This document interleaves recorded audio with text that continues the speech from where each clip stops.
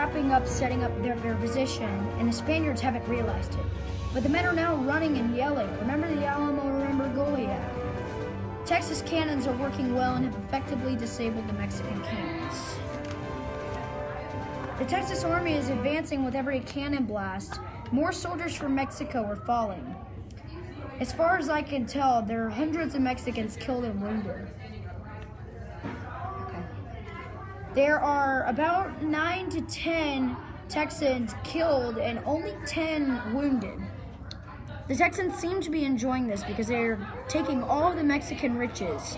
Not even one of the Mexicans are fighting back because they are all either dead or held prisoner. Okay. Um, it seems as if Santa Anna fled during the battle. We're being notified that a search parties are being sent to look for him. While they search, let us fill you in on some of the other actions the Texas managed right before the battle. Sam Houston held a council of war with sever- several officers, deciding what their position should be and the plan of attack beforehand.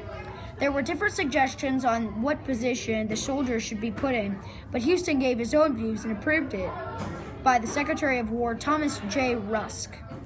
Also, Houston ordered Deaf Smith to tear apart the bridge over Vince's Bayou after the Mexicans had crossed it to stop any more troops from coming.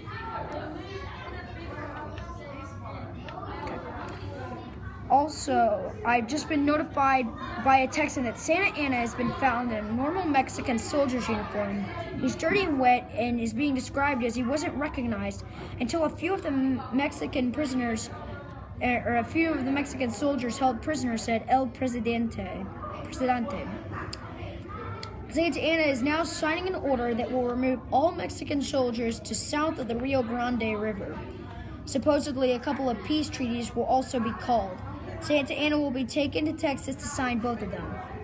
It may have taken a great effort, but the Revolutionary Army has proudly succeeded in defeating the main Mexican army and Santa Anna, the President of Mexico.